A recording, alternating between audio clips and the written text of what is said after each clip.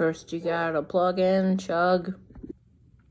First, you gotta take numbers and rewrite them down. First, you got your three, and then your one. And then you put your plus down and two parenthesis here, one times n. Oops, not n, that's five.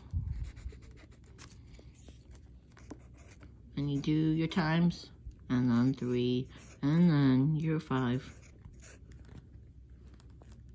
Now you're bringing it down, and you do three plus five, two times, times 15.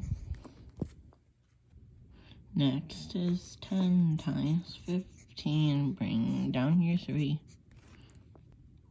150 plus 3 equals 153. First, you plug these numbers into the letters. Then you chug the numbers to the letters, if that even makes sense. All you gotta do is plug and chug.